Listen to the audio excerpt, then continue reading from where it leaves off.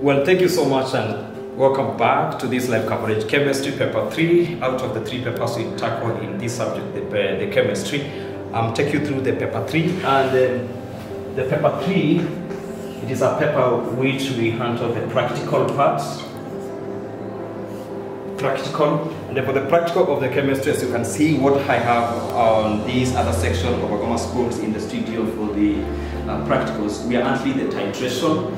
And remember, we have different types of practicals usually under, under the chemistry. That is the test, uh, test of cations, test of anions, uh, quantitative analysis, the titration. Remember, we have different types of titrations. We have the direct titration, we have the back titration, and then we have the redox titration. What I'm about to do here, students, is what we call the redox titration. That's what I'm going to take you through. Just to emphasize more on this paper 3, remember it is a paper which is out of 40 uh, students. Remember in chemistry paper 3, uh, the yellow paper, we have paper 1, which is out of 80.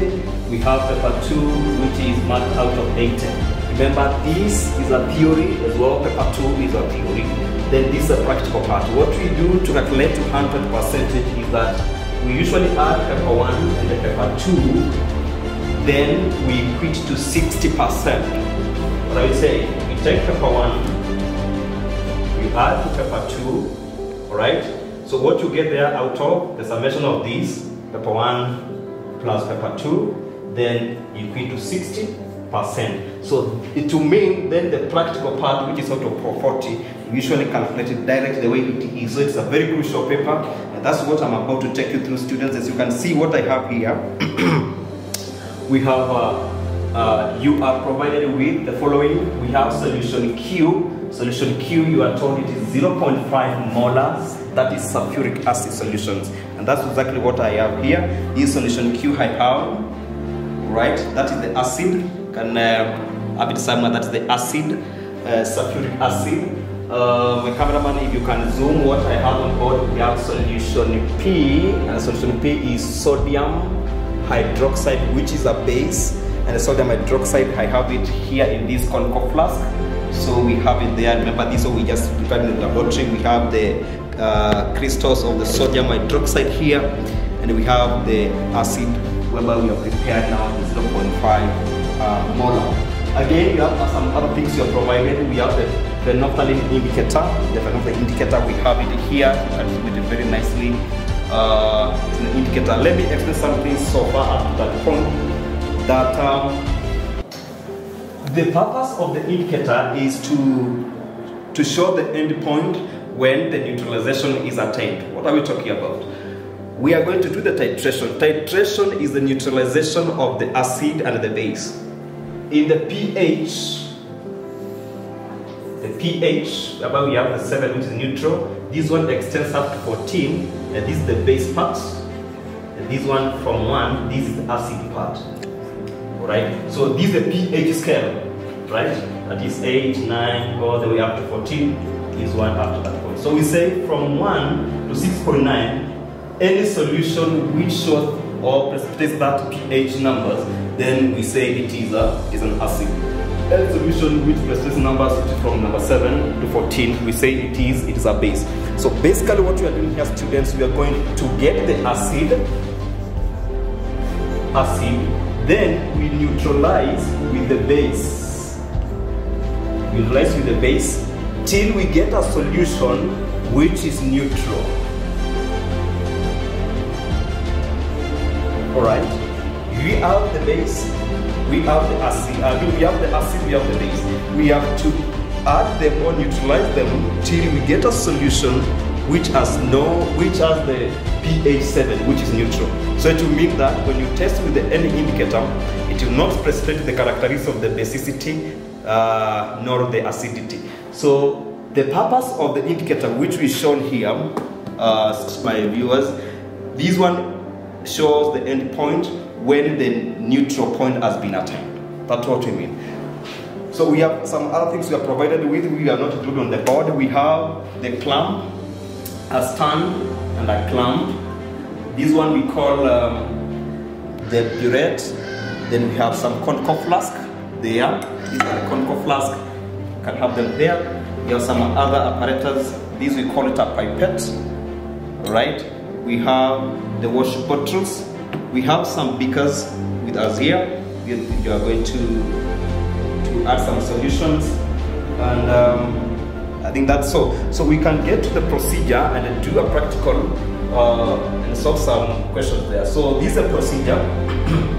so the note you are required to standardize solution Q, which was the acid, with solution P, which was the base. So, uh, which, was provided, right? Now, procedure number one, fill the burette with solution Q up to zero marks. So, this is the burette. This is the burette. So, we have been told we fill with solution Q. The solution Q, uh, we have it here in this beaker here.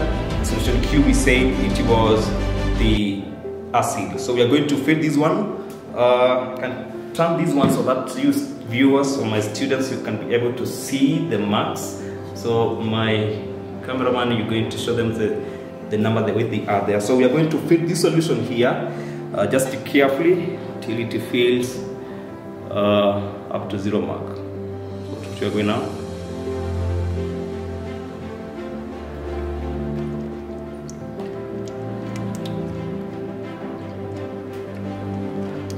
But this is an acid so it is diluted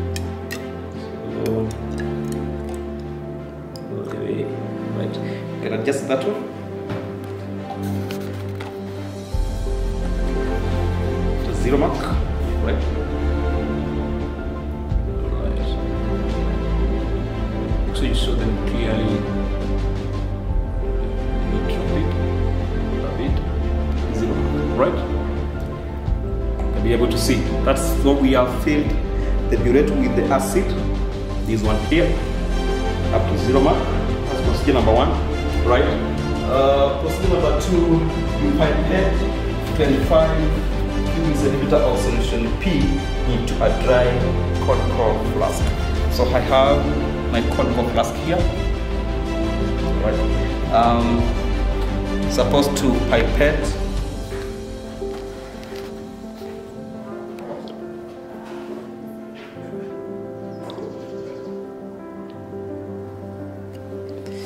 show them the mark. Let's go slowly. All right. Uh, there we go. Out zero mark. All right there we go. All right boom. We have it. So that's 25 cubic centimeter of solution P which was the sodium hydroxide. Then we're going to add to this dry conical flask. The solution we have it there. Perfect so what we're going to do next after now we have the solution which is the basic solution P as well we have solution Q which is the sulfuric acid. We need to neutralize these two solutions till we get a solution which is neutral, right? A solution which has no effect on any litmus paper, either red litmus paper, blue litmus paper. In that case we use now the solution of indicator which is the phenolphthalein. So students, what I have here base sodium hydroxide exactly 25 cubic centimeter. This is what, uh, is, about, is what I'm about to neutralize with the acid which I uh, we had it here, which is exactly 25 cubic centimeter. Right. So process number three. Um, after now we fill the burette to zero mark, and we pipette 25 cubic centimeter into a dry, uh, dry conical flask you add two to three drops of the indicator to solution P and we titrate against the solutions. So right here, indicator, phenolphthalein. Remember we have different types of indicators, remember students. We have the methyl orange indicator, there are so many. Well, so I have to get my dropper right here. And I'm going to suck that over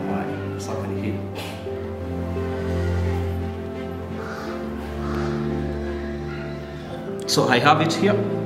This is a indicator, so you can come with me on this. So I'm going to add two to three drops, right? Uh, so clearly I can leave these ones here so that can can show the real thing to students. So we're going to add this one. Let's see what happens. We have one drop. There's some change of the color. It was colorless at the beginning. We have other drops, so we can add this it drops, then we shake. So we have a pink color which formed there, right? So that's what we have.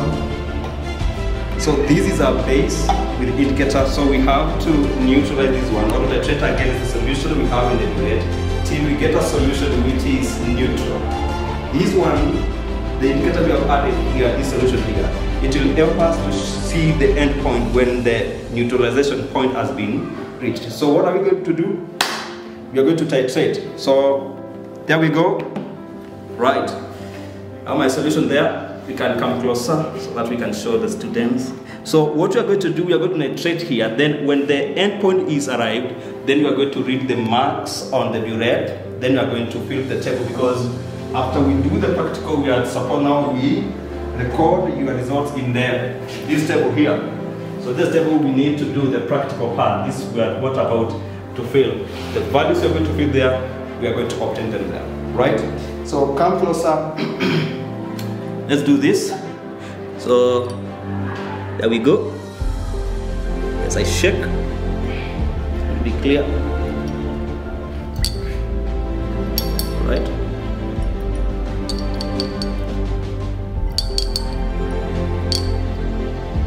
So oh boom, it has happened. So the pink color has disappeared. So what we do now um, we come back to our burette here, then we read the values. Remember we had filled up to the zero mark, if you remember very well, we had filled up to zero mark. Now it has gone up to what? We can read together. Um, we have zero, we have one, we have two, we have three, we have four, we have five point, this is six, uh, we have to read correctly, that is six point what? Exactly 6.1. So we can record here. So come here with me. So we have the final burette reading. We have the initial burette reading. For the first attempt, it was 0.00. Now we have got to be 0, 6 point, 6.1. 6.1. So what we're supposed to do, we are supposed to redo this practical again, or that bit again. So there we go. Pour off that one. Then we rinse now the conical flask again, this way.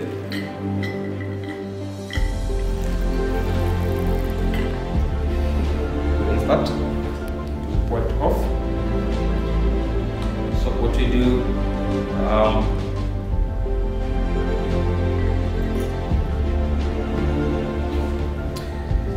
well, uh, so the first thing now, let's now fill this one again up to zero mark. So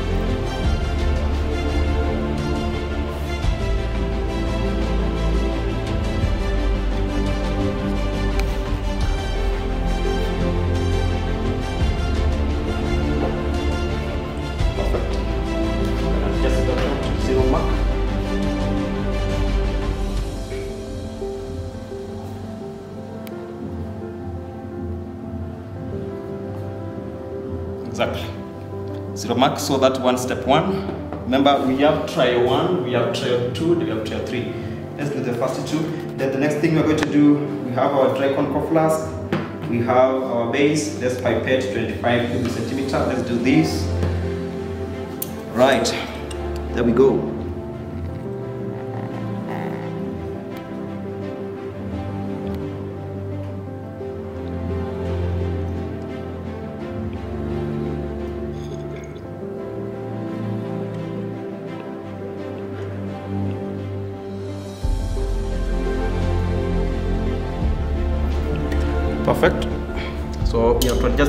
Solution, the base to be at zero mark, to adjust to be 25 because that's what you're supposed to pipette. So there we go.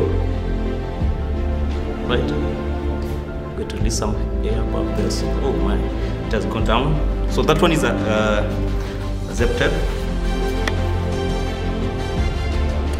Right. Let's it. Adjust to zero.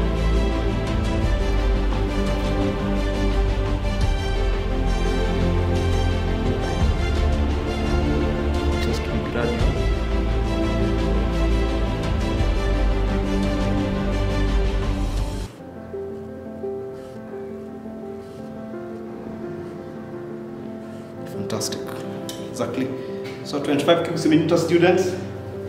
Uh, your pipetted that. So we have it right there.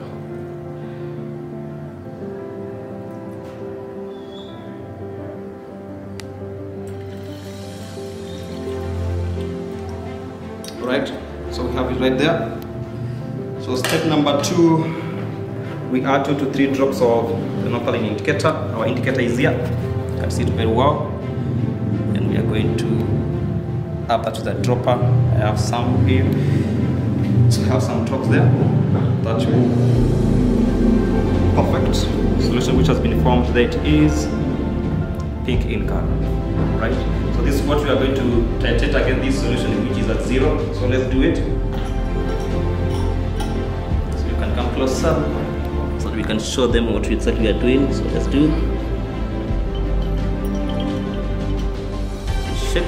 get the end point. Do it when you're shaking. Right. Exactly. Just changed completely. So you can show them. Let's get up here. Show them clearly. Just the card. Right. So um, when you read the values, uh, bring me here.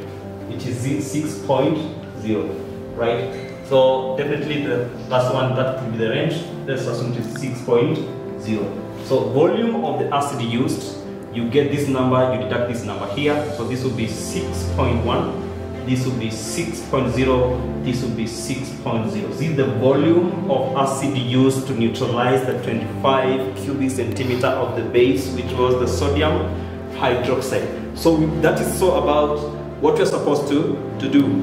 The question we have there, calculate, question number one, calculate the average volume of acid that neutralized the base. So how do we tackle this bit, this question? Uh, let's do some space here. So let's do solution for part A that calculate the average volume of acid that neutralized. So what you do, you add the three values, which was 6.1 plus 6.0 plus 6.0, you divide by the three entries or the three trials. So this will be 18.1 divided by divided by 3, which will be 6.001 cubic centimeter. In other words, that is 6.00 centimeter cubic. That is the average volume of the acid that neutralized the base. So the answer, is said, 6.01 centimeter cubic. Question number two, write the equation between solution Q and solution P. The solution Q, that was sulfuric acid. Solution P, that was the sodium hydroxide. So we need to write that equation, well-balanced equation. Sulfuric acid appears, you react with sodium hydroxide, appears, you get sodium sulfate appears soluble salt and color solution. That is the equation for part B. The equation which needs to be balanced. Sulfuric acid, when you react with sodium hydroxide, you get the sodium sulfate and uh, color solution which is water. Let's balance the equation. The number of hydrogen in the reactant side we have two. Here we have two.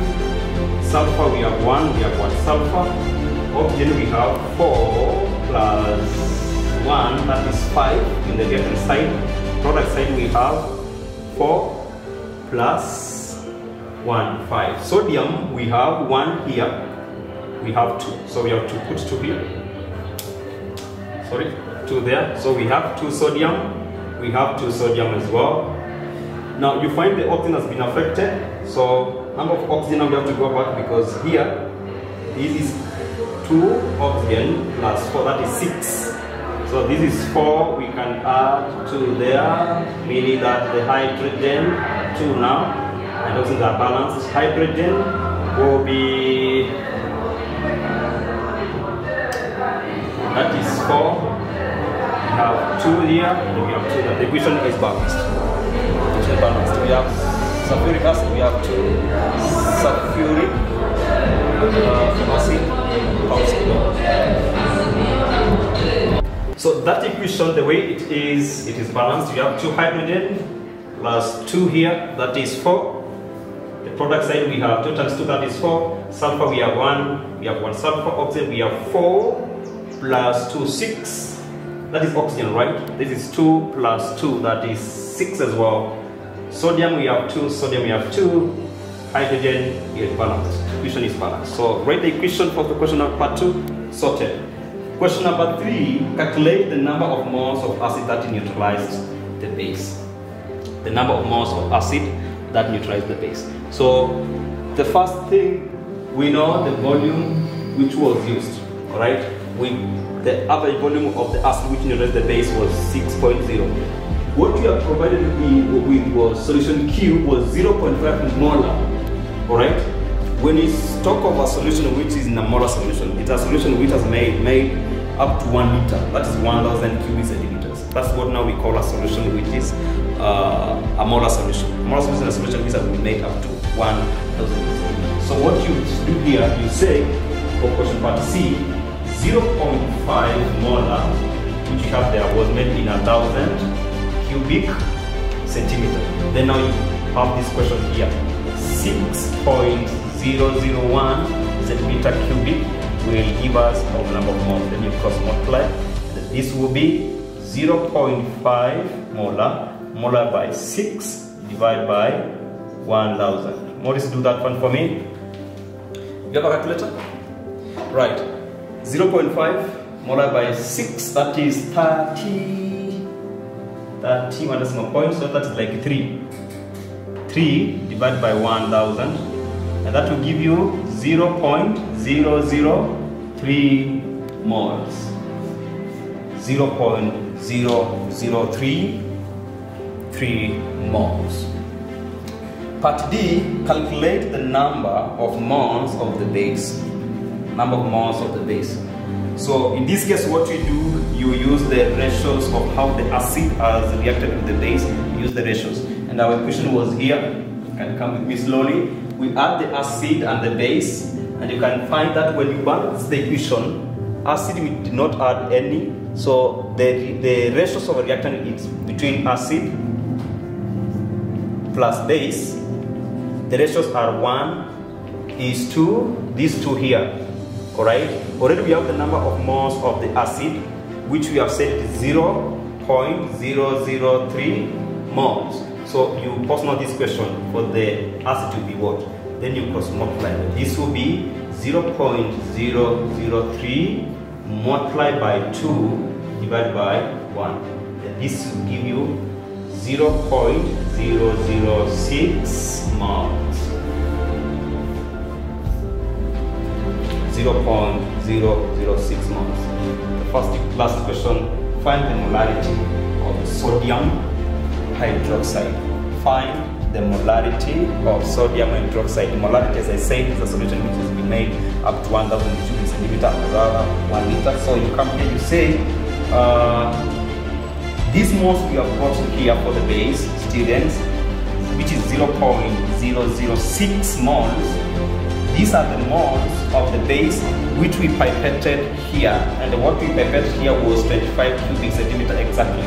That's what we did so the moles you have gotten here are only in 25 cubic centimeter. So to get the molarity, this solution should be in a thousand. So let's post that question. A thousand cubic centimeter will give us which number of moles. Then you cross multiply students. Then this will be 0 0.006. Uh, calculate this one for me. Uh, multiply by 1000 divided by 25 right? By 25 1 by 25 that is 40 right? That's true? Right. 40 so it will be 0 0.006 multiplied by 40 multiplied by 40 4 minus 6 that is 24 4, you have this 0 there. Then how many decimal points? 1, 2, 3. 1, 2, 3. So the molarity of the days of the days have used is 0.24 molarity